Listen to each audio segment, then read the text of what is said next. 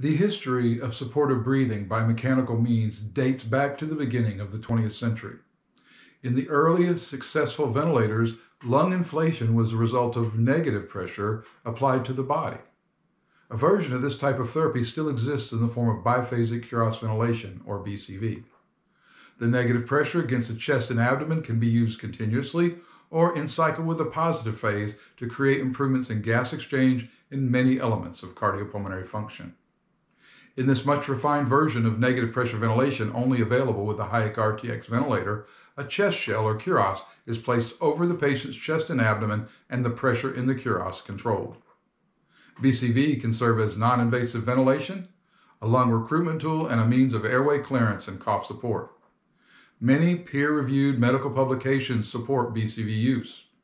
Our focus today is pediatric. Many papers have been published related to BCV use in pediatric respiratory care. We would like to share some brief excerpts from three papers.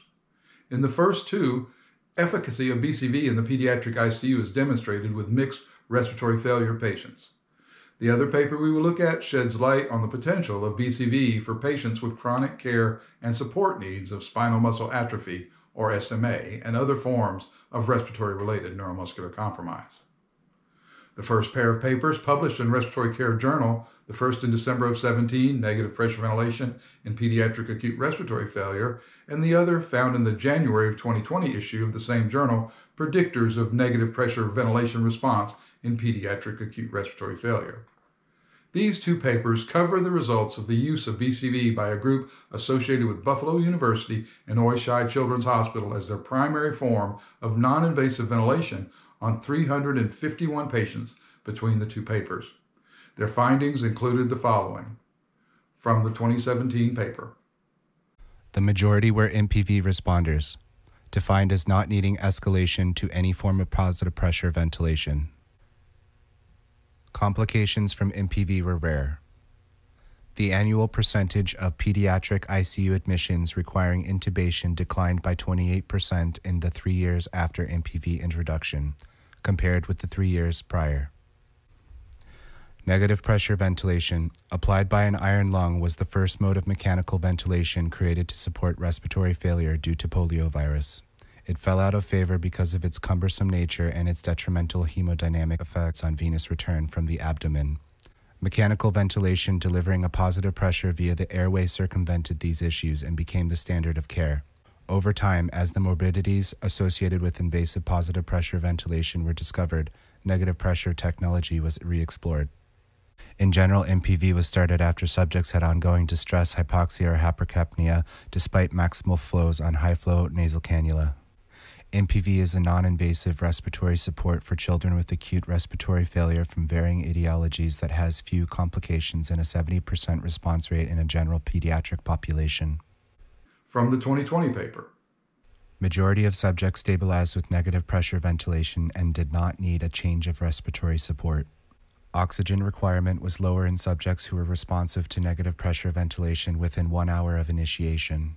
Early studies found that the biphasic cuirass ventilator decreased FiO2 requirements and increased PCO2 clearance within hours, and its use was associated with lower likelihood of intubation in small pediatric populations.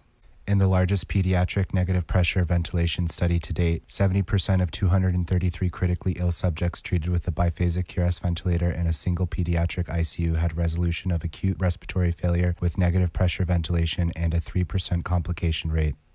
If negative pressure ventilation can improve lung function through recruitment, then gas exchange in the form of SpO2, FiO2, and PCO2 should improve. Our data, like others, indicate that this happens within one hour of initiation of support.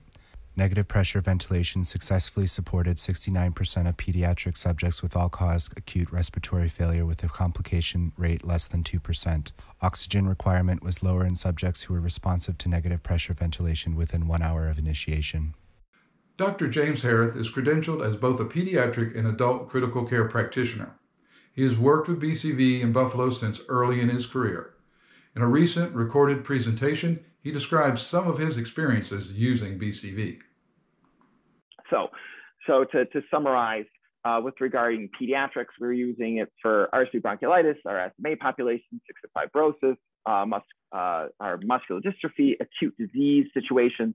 Uh, and then what's very interesting is in rescue situations. So I've, I've got uh, my, uh, and actually an old photo, I was actually a first year attending uh, with this patient. And I have my little uh, hip black HIPAA circle uh, in, in place to cover up this, uh, this little patient. This little patient actually had staph pneumonia, necrotizing pneumonia, chest tubes bilaterally, was not an ECMO candidate um, at that time, and just continue to have persistent bronchopulmonary fistula. So what we ended up doing was like, okay, how can we uh, allow these bronchopulmonary fistulas to heal to be able to eventually get them to extubate? You know, so unstable we can't get couldn't get this patient to an ECMO center either.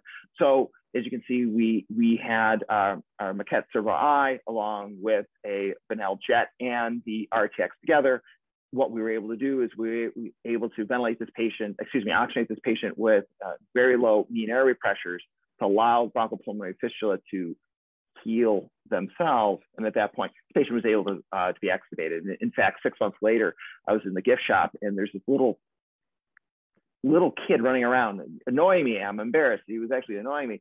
And I looked down and it's like, oh my gosh, that was our patient. You know, so he was actually uh, in the hospital in the gift shop after his follow up with uh, with surgery. So it was uh, it was quite successful.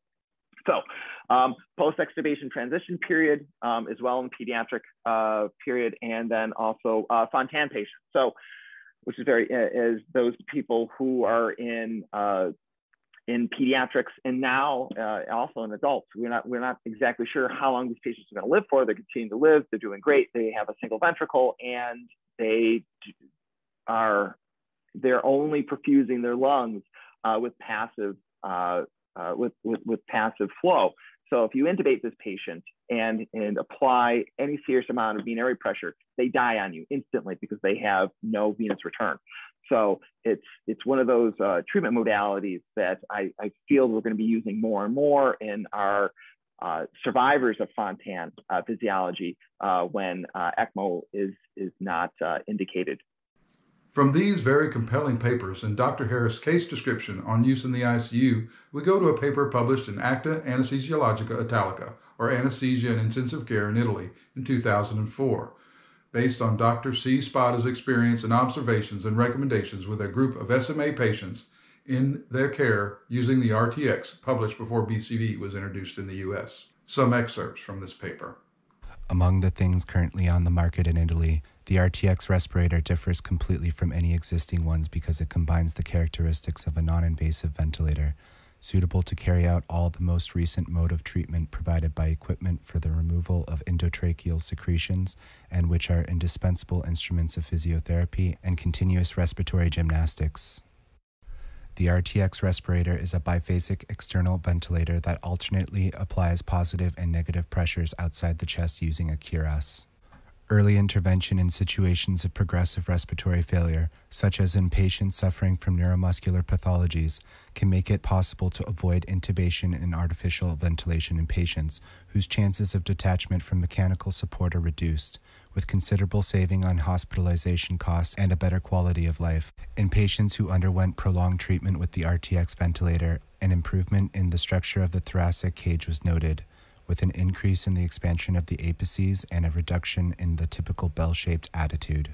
Probably the apparatus is of particular importance for the prevention of high grade kyphoscoliosis, to which many ventilated patients are subjected for chronic pathologies, which considerably complicates the therapeutic process.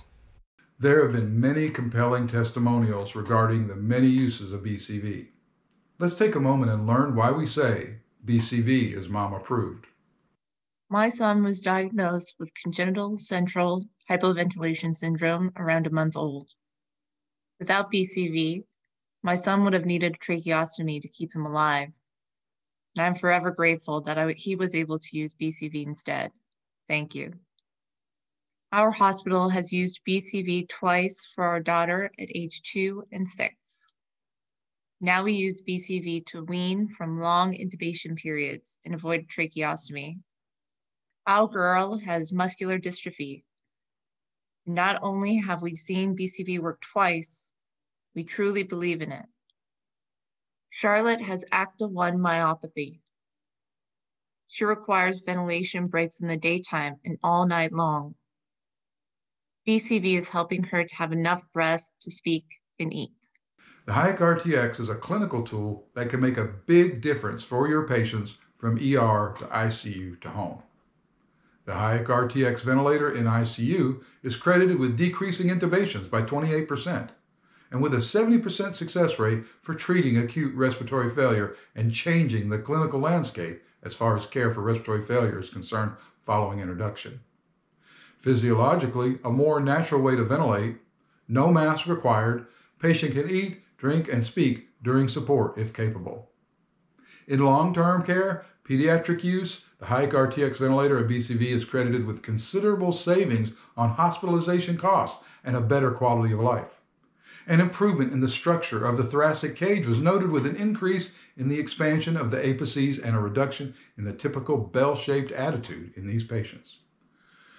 Also, the prevention of high grade kyphoscoliosis is considered a potential. The Hayek RTX and BCV, a better way to ventilate.